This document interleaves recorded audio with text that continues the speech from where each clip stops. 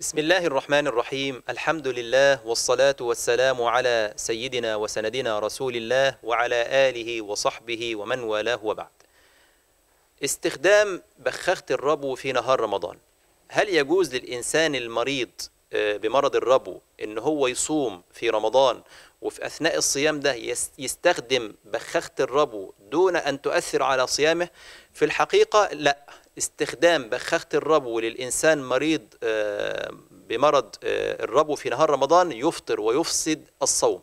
لأن البخاخة دي بتطلع آه، سائل على هيئة أو على صورة رذاذ بينزل من الفم إلى البطن.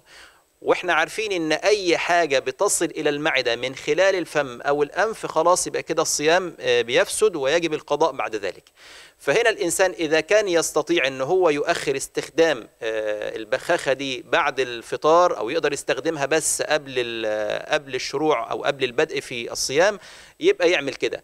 طيب ما يقدرش يستغنى عن البخاخة دي في أثناء النهار يبقى يستخدمها وكده الصيام بتاعه فسد وبعد رمضان إن شاء الله لو قدر إن هو يقضي هذه الأيام يقضيها. لكن لو ما قدرش يقضيها والطبيب أو الدكتور أخبره إن هو مش هينفع يصوم آه، في نهار آه، أي يوم تاني ولازم من استخدام البخاخة دي يوميا آه، أثناء النهار. يبقى ده كده أصبح مريض مرض مزمن وبالتالي ينفع بقى في الحالة دي يطلع الفدية. فالإنسان إذا كان ال- الإنسان اللي هو مريض مرض الربو إذا كان المرض ده مستمر معاه ولازم يستخدم البخاخة دي كل يوم في النهار يبقى ده بيطلع الفدية آه، عن الأيام اللي فطرها في رمضان لأنه أصبح مريض مرض مزمن.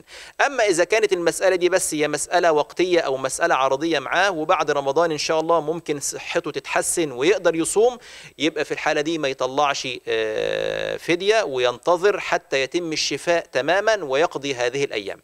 لكن استخدام البخاخة في نهار رمضان يفطر لأن بيخرج من من البخاخة دي آه، سائل على هيئة رذاذ آه، وده يعتبر علاج بيصل من الفم إلى الجوف وكل ما يصل إلى الجوف عن طريق الفم أو الأنف فإنه يفسد الصيام. والله تعالى أعلى وأعلم.